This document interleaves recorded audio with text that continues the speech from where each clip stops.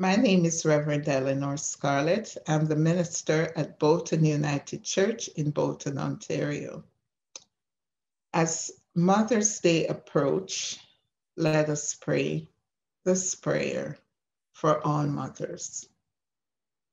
Loving God, help us make Mother's Day more meaningful. Help us make it a time of generosity through our mission and service that helps change the lives of families at home and around the world. Help us make it even more of a celebration of those extraordinary people in our lives we call mom, who are like mothers to us and the people of all genders as well as trans and non-binary persons who offer mothering care.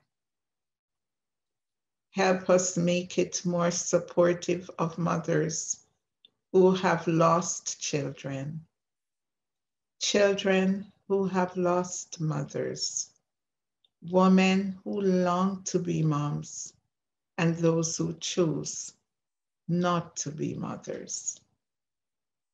Help us make it more open to those who don't fit the traditional model of family and feel left out during this holiday.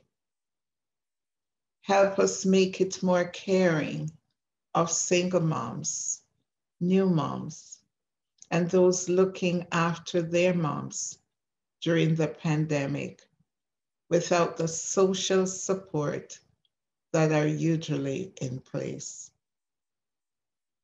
Help us make it more aware of those whose mothering responsibility stretch across decades to span a lifetime.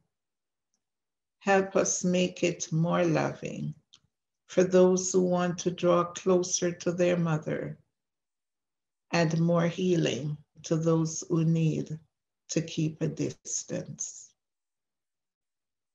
Help us make Mother's Day more, oh God, more generous, more open, more caring. We pray this in your holy name. Amen.